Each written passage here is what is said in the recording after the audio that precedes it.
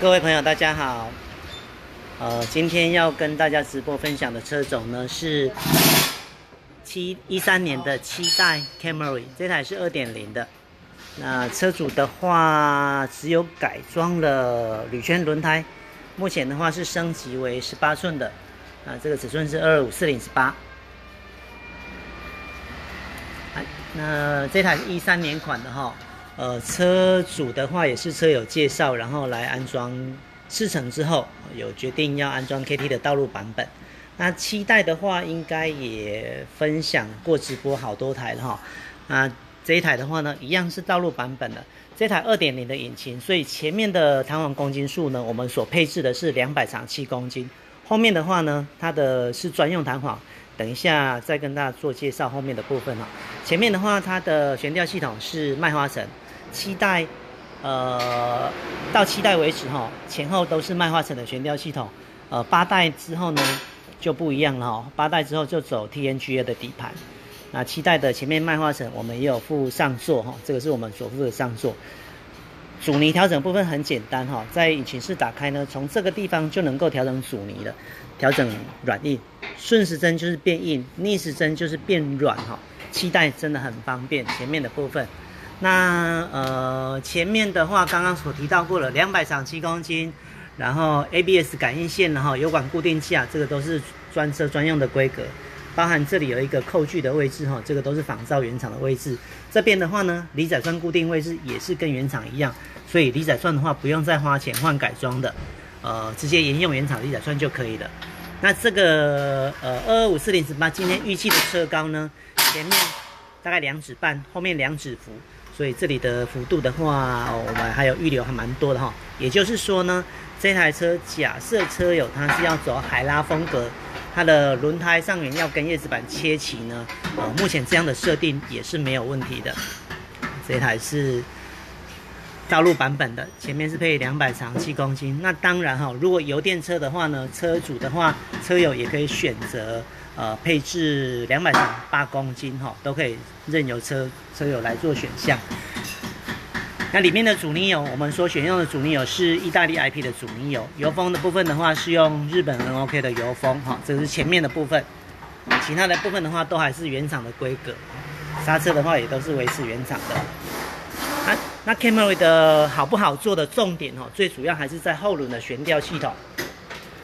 因为后轮的悬吊系统呢。一样是麦花臣的系统，但是它的呃乘坐感的敏感度很高哈，所以它后面的话，如果配成直卷弹簧呢，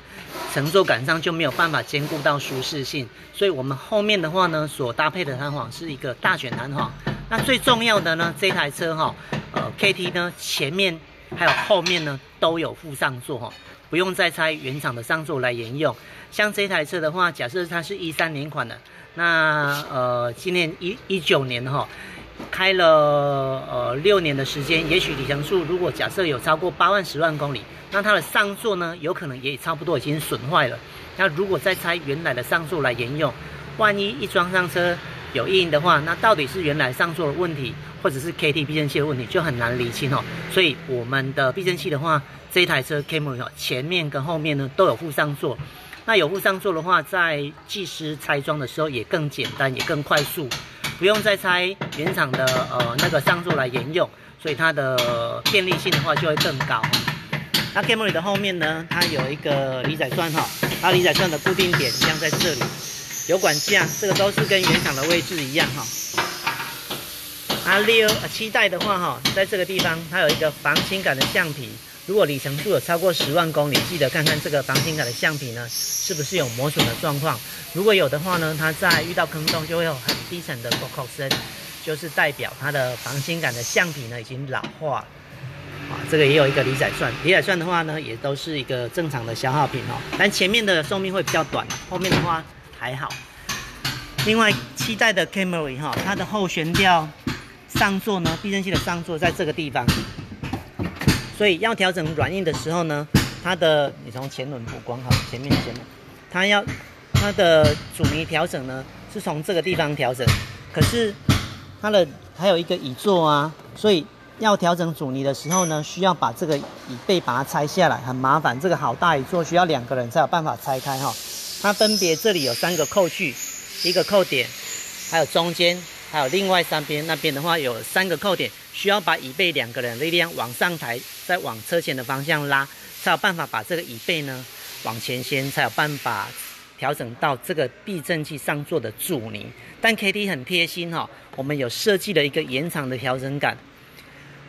当椅背装回去的时候呢，它的调整杆会落落在这个地方，会露裸露在外面，所以要调整阻尼的时候呢，从这个延长调整机构呢旋转就能调整阻尼的，不必再把椅背卸下来就能够调整阻尼。所以这个在五代、六代、七代哈都是这样的设计，在调整阻尼的便利性上呢就会很方便很多。所以呃不用再拆椅背下来调整哈，这个是改 KT 最大的呃很大的一个。呃，方便的地方。然后面的悬吊系统，车主的要求是要降到两指幅，所以我们等一下车高降下来的话呢，就会大概是两指幅左右。那前两台这个月有两，一共有两台，啊，前面的话还有两台是七点五代，那这一台是七代的哈，都是都是 Camry 的车友。好，车主本来的话其实也有改了 TS 的短弹簧，哈。这是 T S 短弹簧，所以本来的车高的话，前面是大概四指幅左右，后面的话大概接近四指幅。但是改了 K T 之后的话，车主有要求再低一点点，所以前面的话呢，会是大概两指半，后面的话是两指幅。这个是改装轮胎，这个应该是 C S C 二五四零至八的。这是拆下来的原厂的避震器，一三年款的，应该寿命应该也是差不多了。好，那刚刚有提到过了呢，这个是后面的避震器上座，这个是前面的避震器上座，所以这个上前面的避震器上座下方，其实它还有一个叫指推轴承。那不论是这个上座的橡皮，或者是指推轴承，它都是一个呃正常的耗材哈。所以，如果再拆下来沿用的话呢，其实不知道这个状况是好是坏，那装上车就会比较有异音的风险。但是 KT 改 KT 的话不用烦恼，我们 KT 的前面还有后面呢都会附上座，不用再拆原厂的来沿用了哈。这个是比较对技师来说比较简便，那对车主来说的话呢会比较有保障哈，因为我们就都有附上座。不用再，因为这个拆上座其实也还蛮麻烦的。它不是直接拆一颗螺丝，它需要把弹簧压缩之后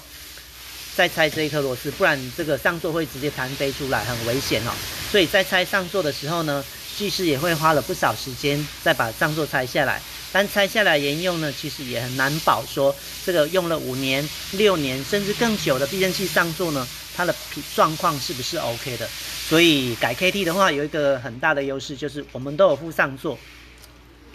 而且有附后面的延长调整机构，对车友来说的话呢，就很方便哈。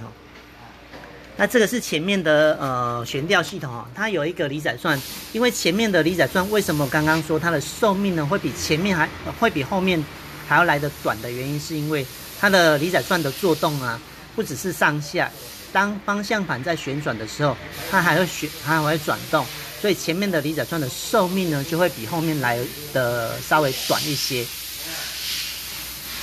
所以在拆装避震器的时候呢，呃，一般我们都会请技师呢摇摇看它的头是不是有间隙的，有间隙的话呢，就会一并哈请车友做更换。那其实 Camry 它的原厂的离载钻的品质呢是相当不错，要撑个八万公里应该都不是很困难的事情了。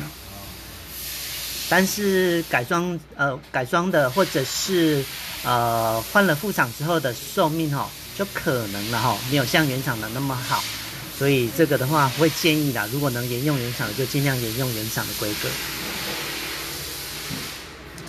那它前面悬吊呃跟后面呢 KT 的道路板也好，竞技板也好，都是能调整高低的哈。那从这个地方呢环状金属银色的环状托盘。把它松开之后，它的蓝色的脚管下座往下延伸的话，它的整体长度变长，它的车高就变高。那相反的，如果蓝色的脚管往上缩的话，它的长度变短，车高就会变低啊。啊，这一台的期待我们能够调高到跟原厂一样高的幅度，最低的话也可以到达轮胎的上缘跟叶子板切齐，所以调整的幅度呢最少也有七八公分以上哈。它能够调整高低的范围很宽广。OK，呃，现在只有剩下右后还没有装好哈，还有内装的部分。那所以呃，今天的那个直播就到这里哈。如果车友们呢有需要试乘，或者是有对产品有任何疑问呢，都欢迎跟我们联络。那谢谢大家的收看哈。这一台是 Toyota Camry 七代二点零款的，谢谢大家，拜拜。